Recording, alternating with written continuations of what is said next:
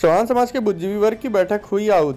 चौहान समाज की आवश्यक बैठक नगर के छठे कोलघाटी स्थित एक मैरिज हॉल के सभागार में रवि और कुछ संपन्न हुई, जिसमें चौहान समाज के बुद्धिजीवी वर्ग चौहान समाज के वास्तविक स्थिति पर चिंतन मनन करते हुए चौहान समाज के विकास पर मंथन किया। बैठक को संबोधित करते हुए रामफेर चौहान ने कहा कि चौहान समाज का विकास शिक्षा से ही हो सकता है। चौहान समाज के युवा पढ़ लिख कर अपने समाज को आगे बढ़ाने का काम करें और राजनीति में हिस्सेदारी करें। उन्होंने कहा कि आज के परिवेश में नशा मुक्त होकर ही हम स्वच्छ समाज की स्थापना कर सकते हैं। चौहान समाज के विकास के लिए संघ कोर कमेटी का गठन किया गया, जिसमें रामफेर चौहान, अनिल चौहान, धर्मेंद्र चौहान, लक्षण सिंह चौहान, रणधीर चौहान, राधेश्याम चौहान, अंजनी चौहान, राधेश्याम चौहान, सिकंदर चौहान, राकेश चौहान, सूर्यनाथ चौहान को शामिल किया गया।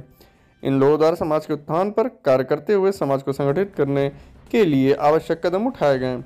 बैठक में मूलचंद चौहान सत्येंद्र चौहान बैजनाथ चौहान सत्येंद्र चौहान विनोद चौहान श्याम सुंदर चौहान रणविजय चौहान रामजीत चौहान जय हिंद आदि गणमान्य लोग मौजूद रहे। अपना परिचय दीजिए आज बैठक की गई क्या मुद्दे रहे बैठक में क्या? इस बैठक में मुख्य मुद्दा ये रहा कि हमारे समाज के लोगों को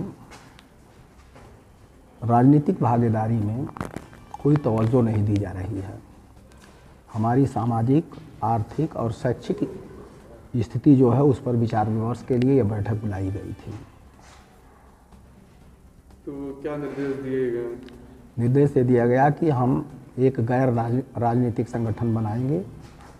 उसका नाम बौद्धिक विचार मंच रखा गया है। उसमें 11 लोगों की कोर कमेटी बनाई गई है। जो डिसीज़न वो लेंगे वो सारे लोगों पर लागू होगा और वही समाज को जागरूक करने के लिए कार्यक्रम चलाएँगे।